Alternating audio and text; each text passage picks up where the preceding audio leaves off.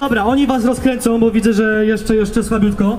E, kochani, co tu długo gadać? Kiedyś słuchaliśmy The Dumplings i Komy. Teraz słuchamy Karasia i Roguckiego. I bardzo dobrze, bo nikt się tak wami dzisiaj nie zaopiekuje, jak właśnie oni. Karaś Rogucki!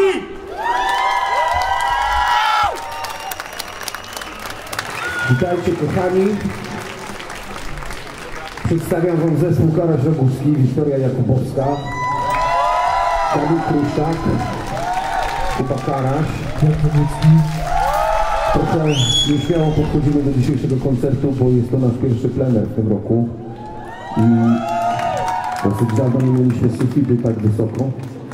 Więc postaramy się sprostać tej sytuacji i sprawić, żebyście się poczuli dobrze, ładnie, miło, żeby podkreślić ten dzisiejszy dzień, który jest wspaniały i świadczy o tym, że nie wszystkie majówki muszą być skazane na niepowodzenie, jeżeli chodzi o stronę pogody, a my zrobimy co w naszej mocy, żeby wam było dobrze.